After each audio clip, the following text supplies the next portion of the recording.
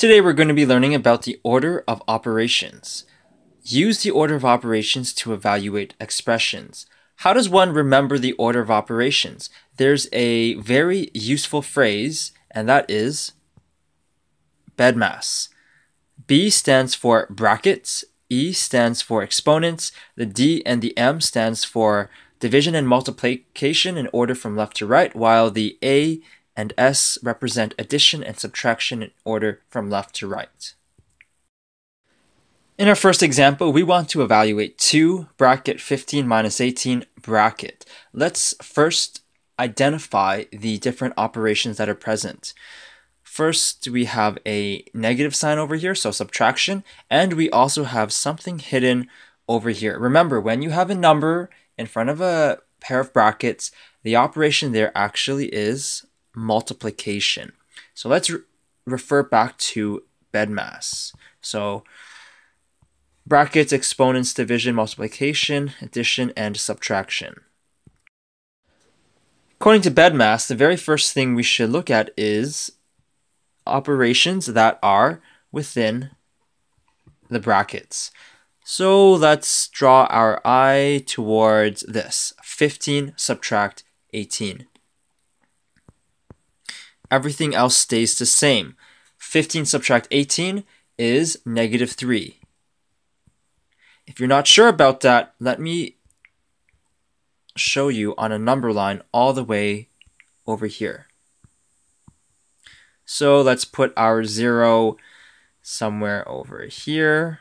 We start with positive 15. We are subtracting 18 from 15, which means we are going further left on the number line, and we're going to end up somewhere over here, which will be negative 3.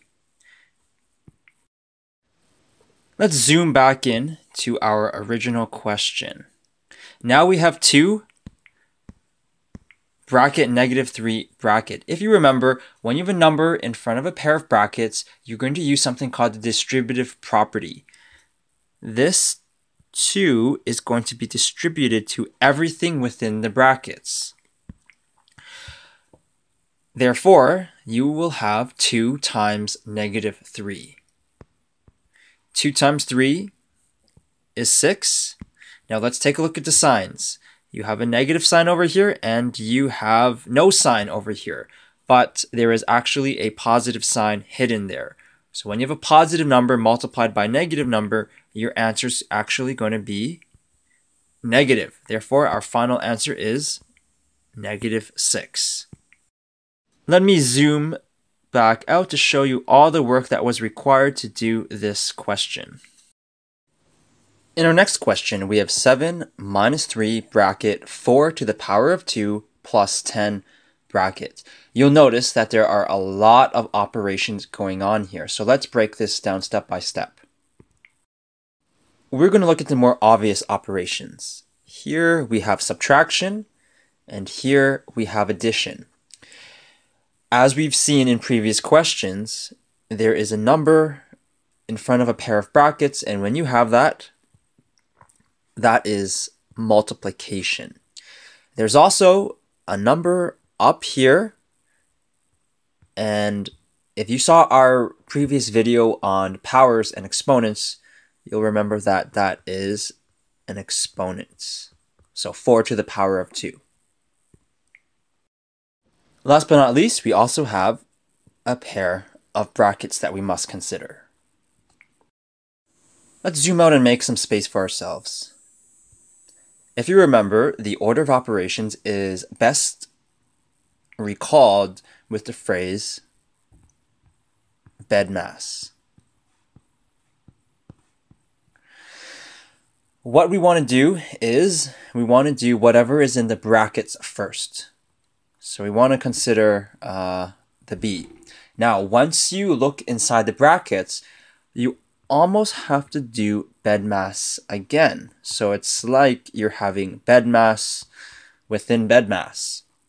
Now, within the brackets, we have two operations. We have addition and we have to the power of 2, which is an exponent. Okay? Now, according to BEDMAS, we are going to have to do the exponent first, and then we can go ahead and do our addition. So that is going to be our strategy. Let's go back over to the left and let's rewrite our question. So we are going to copy down whatever we are not touching. So if you haven't touched it, it stays the same. So 7 minus 3 stays exactly the same. We're going to look within the brackets. First thing we're going to look at is the exponents. 4 to the power of 2. If you recall, 4 to the power of 2 is 4 times 4. If you want, I'm going to do the work over on the side here.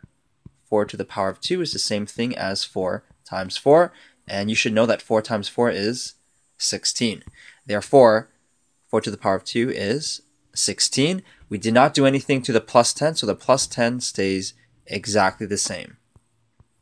In our next step, we're going to continue to look within the brackets. We are going to take 16 and add 10 to that. So let's go ahead and rewrite the stuff we did not touch. So 16 plus 10, that is 26. At this point, we're left with two operations. We're left with multiplication and subtraction. So according to BEDMAS, we are going to be doing multiplication first, and then we're going to be doing subtraction. So let's make a little mark to help us remember what our strategy is going to be. So multiplication first, then subtraction. If you remember from our previous videos, when you have a number in front of a pair of brackets, you use something called the distributive property. So everything within those brackets are multiplied by the number that comes in front of the brackets. This is a pretty easy calculation, so I'm not going to write out the steps. 3 multiplied by 26, you can throw that into your calculator. You will get 78. Okay? Again, if you didn't touch the signs or numbers, they stay exactly the same. Don't go changing them randomly. Now, at this point, you're going to take 7 and you're going to subtract 78. A lot of students might get confused with this, so I'm going to go ahead and draw a number line for you. So there is our number line. Let's put 0 somewhere over here. We actually start with positive 7. What we're doing to positive 7 is we're subtracting 78, which means we're going further to the left on the number line. If you were to count out 78 steps to the left, you would end up at negative 71. Therefore, 7 subtract 78 is negative 71. If you can do this in your head, that's great. If you need to use a calculator, you can as well, but always double check with the number line to make sure your answer is correct. In our last question, we have 2 to the power of 3 subtract 4, bracket 5 plus 1, bracket to the power of 2. Let's first identify all the operations that are present. Here we have exponents. Here we have subtraction. Over here we have a number in front of a pair of brackets. As I've mentioned numerous times, this is multiplication. Within the brackets we have addition, and outside the brackets we have an exponent. Before we evaluate this question, let's go ahead and remind ourselves of our order of operations, which is BEDMAS. B stands for brackets, and as you can see, we have a pair of brackets. So let's do whatever is in the brackets first. Let's scroll out to make a little bit of space for ourselves. Uh, as I mentioned in the previous question, uh, when you look within the brackets, you almost have to do BEDMAS again. So you want to take a look at what operations are within the uh, brackets. Uh, over here, we actually only have uh, addition. So that is really uh, simple for us. So we are going to add those two numbers. Let's go ahead and do that on the left. So everything stays the same because we haven't touched them. And we are going to take 5 and add 1 to it, which is 6. As you notice, um, everything again stays the same unless you manipulate it or you touched it. Okay, that's very important. For our next step, we want to tackle all the exponents. So we have 2 to the power of 3, and we have uh, 6 in brackets to the power of 2. Well, let's go ahead and uh, do that. So 2 to the power of 3, I'm going to write to work on the side. 2 to the power of 3 actually is 2 times 2 times 2. You can go ahead and do that in your head. 2 times 2 is 4, and then 4 times 2 is 8. So 2 to the power of 3 is 8. I'm going to make a little bit more space for myself for the work. Uh, we have 6 to the power of 2. 6 to the power of 2 is 6 times 6, which is equal to 36. So our answer is 36. And you have to leave it uh, in brackets. Next, we're going to do multiplication.